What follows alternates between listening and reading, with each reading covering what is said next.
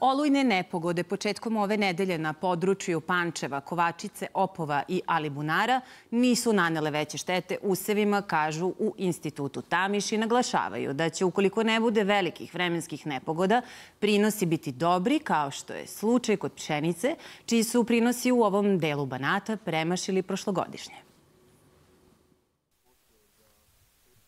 Olujno nevreme, praćeno velikom količinom padovina, nije nanelo veću štetu njivama u Južnom Banatu. Uništenih parcela i poliglih useva nije bilo, kažu u Institutu Tamiš koji pokriva područje Pančeva, Kovačice, Opova i Alibunara. Imamo gde su malo nakrivljeni e, i gde se video praktično udar vetra sa koje strane je dolazio, ali za sada neke veće štete nisu prijavljeni a količina padavina se kretala u zavisnosti od atara do atara od 50 ove, litara po metru kvadratnom do 77 litara po metru kvadratnom. Kukuruz je u ovom delu Banata najzastupljenija poljoprivredna kultura i pokriva 66.000 hektara. U dobrom je stanju, počelo je nalivanje zrna i padavine mu odgovaraju.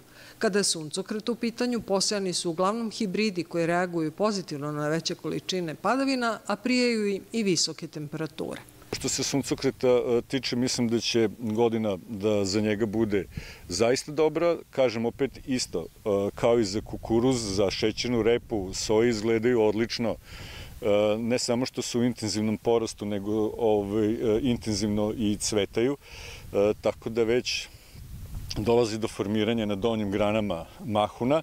Ako se nastavi ovaj period ovakav bez naglih promena visokih temperatura, mislim da ćemo imati dobre i stabilne prinose. Pšenica je u ovom delu Južnog Banata bila posejana na 22.500 hektara. Žetva je završena prošle nedelje, a prinosi su raznoliki od 6,6 tona po hektaru do 8, pa čak i 9 tona kod pšenice koja je posejana u oktobru i veći su nego prošle godine. I ječam je dobro rodio, a ratari su tokom žetve imali oko 6,5 tona po hektaru. Jedino je kod uljane repice prinos manji od 700 kg do 1 tone po hektaru u odnosu na prošlu godinu. Stručnjaci iz instituta Tamiš podsjećaju poljoprivrednike da kod njih mogu doneti uzorke zemljišta na analizu koja je besplatna, a podaci će biti uneti u sistem e-agrara.